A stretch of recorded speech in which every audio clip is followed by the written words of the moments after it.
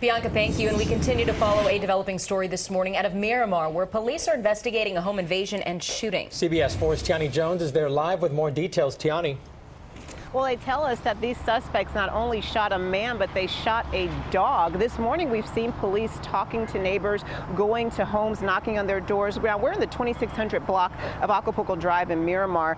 This happened just after midnight. There were two women and one man in the house, and that man, he was the one who was shot.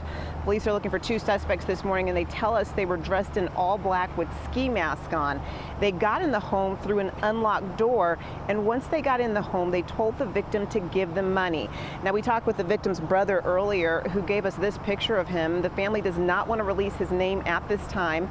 Police say when the victim did not give in to the suspect's demands, that's when they shot the dog. They then shot the victim through a closed door. Now, police tell us they have little information they can give us about the suspects as far as a description or a vehicle that they got away in. As for the victim, they tell us that he is in stable condition. We're live in Miramar. Tiani Jones, CBS 4 this morning.